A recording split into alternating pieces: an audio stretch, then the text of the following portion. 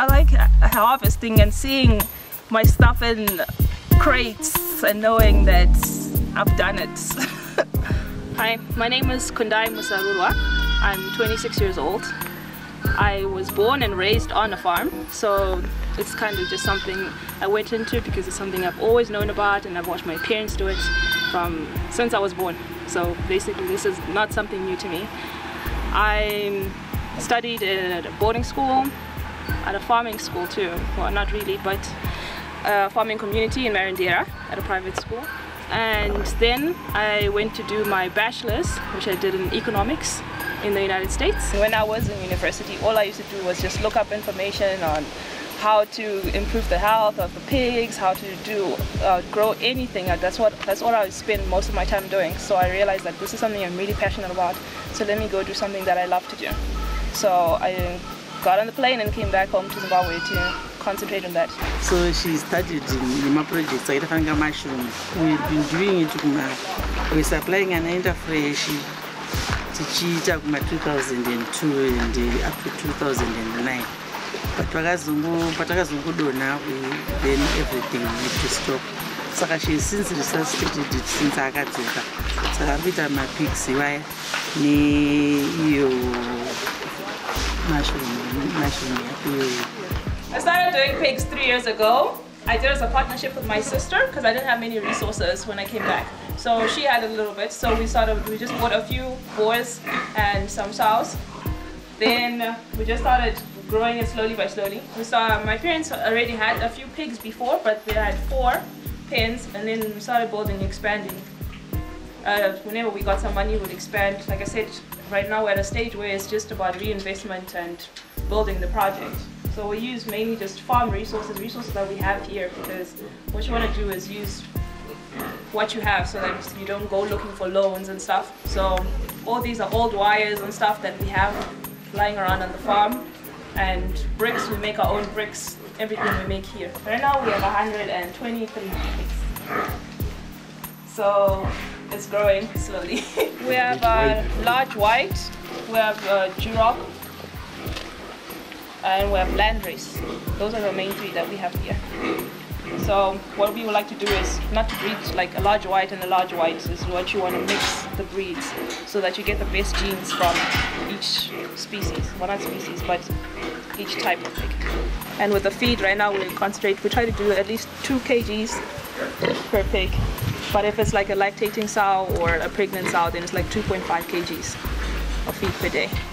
And you have to make sure that you have water constant water supply. So we built that tank over there, you can see it. We put a tank specifically for the pigs because they need to have fresh water. Pigs are not as dirty as people think they are because they actually don't defecate where they eat. So you know that side is going to be clean. So the pens are not that difficult to clean. The market, that's the main thing with the pigs. Make sure that uh, you get your market before you go into the pig industry. Because like right now the consumption per capita in Zimbabwe is just one kg. So that's not very big. So what we do is we have somebody who we, almost like a contract. So we know that he wants about 20 pigs every week and that's how we survive.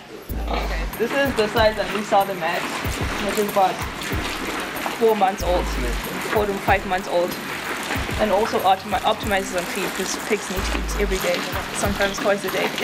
there is, you need to know your pig, like, you need to know every detail about your pig, whether there's males, females, and then we do like this, the tagging. You can see the ears. Where we snap the ears so that you know which piglet, which mother it came from and which boy it came from. So that when they get older and you're breeding them, you don't interbreed brothers and sisters. So that's very important. And also to know, just know like diseases, how many kids, like how many piglets each sow has. Like this one has two, four, six, seven. So next time that we, um, next time we breed it again, if it has less, or if it has more, then we know like how well the sow is doing. Because once it starts giving us like four piglets or it gets old, then we know it's time to get rid of that one and to cut it, cut it for meat. So with the mushrooms, my mom used to do mushrooms in when I was in primary school and then she stopped doing it to focus on other ventures that she has.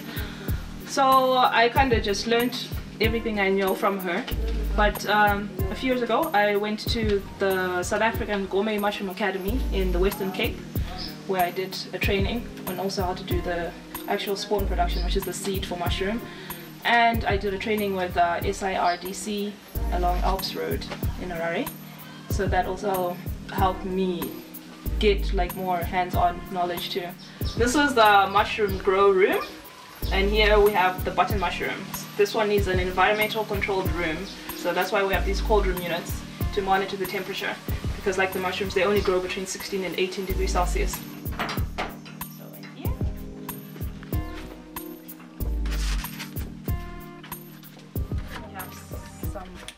Button mushrooms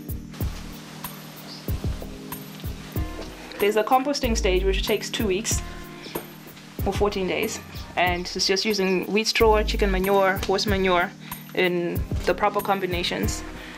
And then you compost that for two weeks. And then you we have a special room called a peak heat room.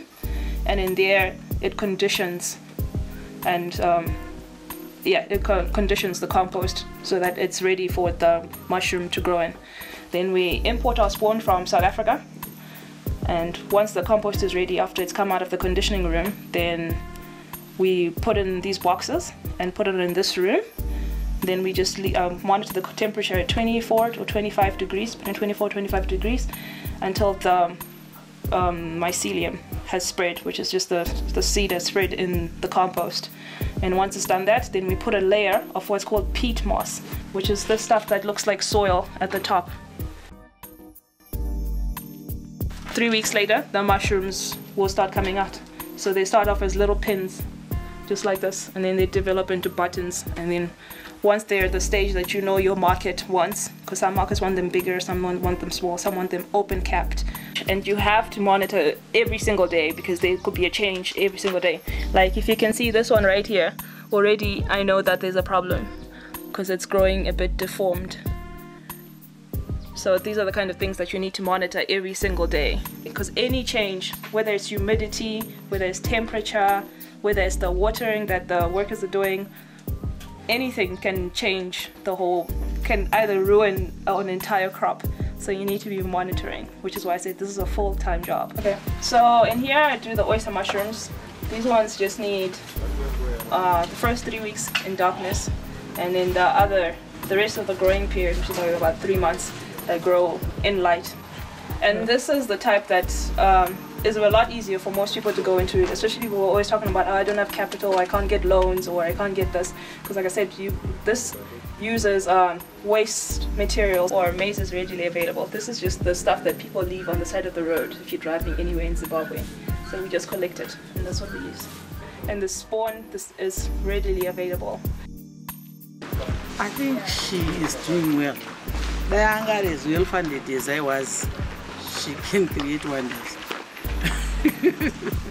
I think that parents should definitely support. If you hear a child says they want to go into farming, like support them. Do. It doesn't always have to be about money. It could just be a, just support in general.